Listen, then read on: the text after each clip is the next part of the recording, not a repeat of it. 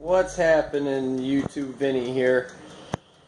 I found this in my basement. I forgot I got this for Christmas. It is the Ronco Ready Grill, one of those little dinky, you know, kitchen appliances and all that. I just got done washing all the internal parts that I could take out and throw into the dishwasher, which is running great, by the way, if you saw the ammonia video fixing it. Now, I'm heating it up for the first time, like it says to do before you cook, because if you look inside there, those glowing elements that are supposed to grill your food, I guess they're coated with like vegetable oil or something. So it, it smokes a little bit. So I'm just letting it, you know, maybe I'll turn the timer down. Because it runs off of, uh, these ticks are a minute each. So I'll set it back down. I had to set to 30 for some cracked out reason. I'm to let this uh, run for about five minutes and then I'm to throw steak in here and we'll see how it cooks. I'll show you the whole process of doing it. Hopefully I can do it one-handed. If I can't, then, you know, I can just put the camera down. But, yep, I got, where are you at, you little bastard? There we go.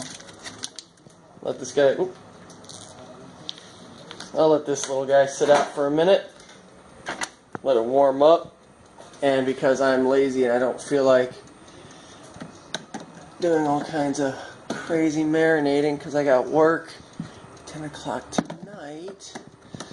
I'm probably going to hit it with the rut roll. I don't want to be dropping any uh, spices on this thing. There it is. I found it. I found it. This is what we're going to be using. Real simple. This looks good, man. I like this.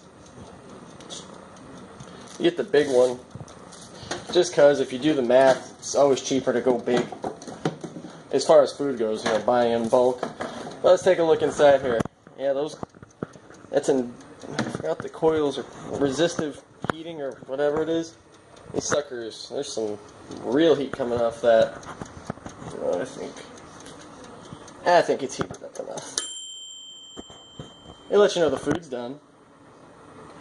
Now I'm just going to let this cool off and I'll show you the other parts of this that you have to take out. Obviously there's a drip tray for all the grease and stuff, which is good.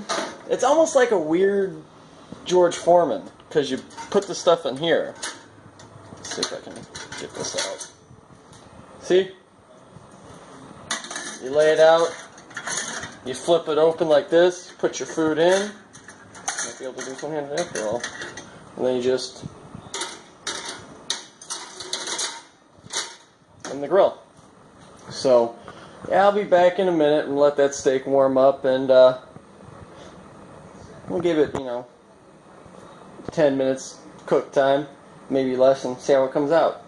All right, I'll be back. Guys, Vinnie. So, what you saw last was me with a steak sitting right here. Uh, well, yesterday I got called into work early, so I just cooked the steak real quick and went back to work without recording because I wanted to eat and go. Because, you know, time and a half is time and a half. Uh, but steak, you know, five minutes in this came out medium to medium rare, real juicy and tender. And yes, I'm going to show you something. I got some chicken in the sink. Uh, thought I got just boneless, skinless chicken breast. I'm to season those up and then actually show you that. I did get the early call again today, but you know I got plenty of time to actually follow through with this. So just uh, stick around.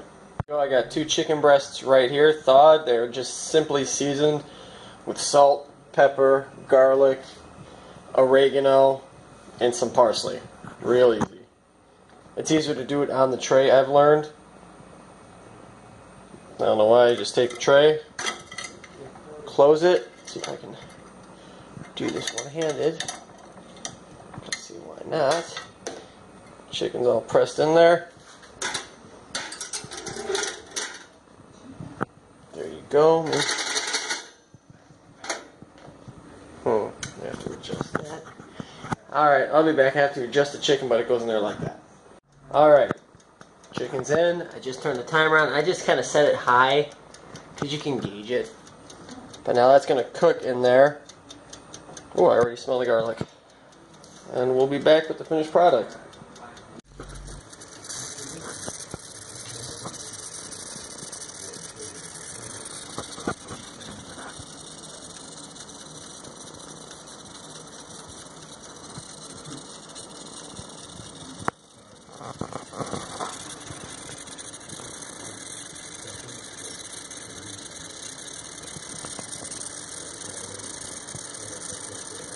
Here is the finished product. About 20 minutes in the uh, ready grill. You can see it's very juicy, still steaming out of the ready grill. I'm gonna make a sandwich for or a salad for work. Already tried a piece of it. It is super juicy, super tender, cooked all the way through. This little thing, if you're not recording, it's super easy to use. Super quick, not much of a mess in there except for the chicken dripped the one time. And these little thingies, they just slide right out. And from the instructions, it says everything just gets burnt off the coil, so you don't have to try to reach in there to clean nothing. And obviously that comes out. You just clean all the uh, fat and grease drippings off, and you're good to go. Great little tool. The only thing is, it's big. But I like it. Chicken came out good. Look at that. Just juicier than shit. And it's cooked all the way through. Hope y'all, if you're interested in something like this, you know, I'll, I'll put a link to where you can buy one in the description. Thanks for watching.